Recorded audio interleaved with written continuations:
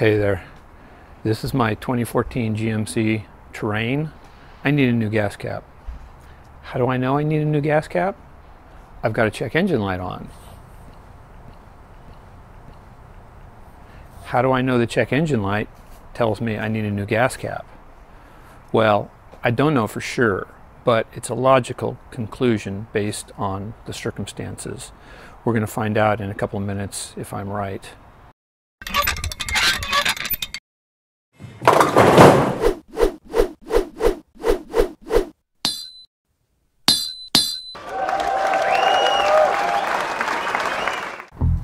Whenever you get a check engine light, you should have your senses perk up right away and you should pay attention to what your vehicle's you know running like what it sounds like what it feels like.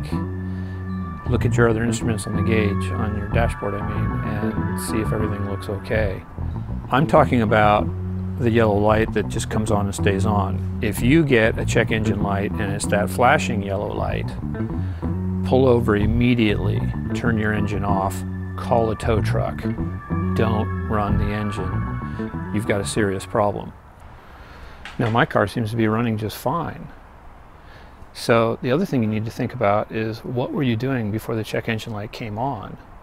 In my case, I had just filled the car up with gas, left the gas station, and the light was on. I had had this happen one time before. I reset the check engine light, it stayed off, so it's fine. This time, the check engine light won't reset. I put two and two together, filling the gas tank and getting the check engine light. That's why I think I need a new gas cap. I inspected the the cap and took a look at the you know the inside and the seal. See this blue gasket down around here? That's what seals against the tank and you know it looks pretty good all around. I don't see any damage or cracks but you know it feels kind of hard. It doesn't feel resilient and flexible. But um, this is a valve. There's a one-way valve inside of this that lets air into the tank and doesn't let air escape. And it could be that you know there's a failure in there.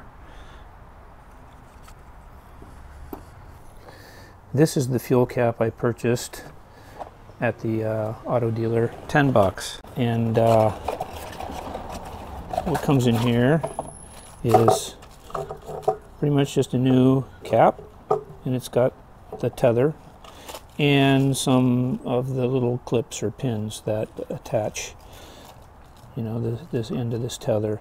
Uh, there's a variety of sizes in here it looks like. Um, but we're just going to put this in here and then uh, before we connect the security uh, strap here, we're going to go see if the light turns off.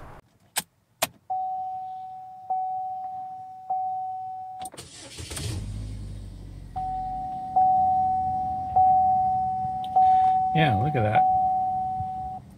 No check engine light. So, it looks like we've solved the problem.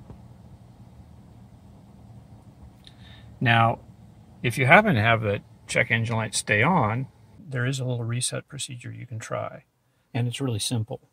All you do is turn the car on for one second, turn the car off. Turn the car back on for another second, turn the car off. Turn the car on a third time for one second, turn the car off. Then start the engine. And if the check engine light doesn't reset after that, then you should probably take it in and get it checked by a mechanic. How do I remove this pin? I'm gonna just experiment here. I'm using a pair of side cutters because I thought they'd slide underneath and I could like lift it out. Yeah, there we go. Good put this around here and slide that in. There we go. Good. Okay, I'm good to go.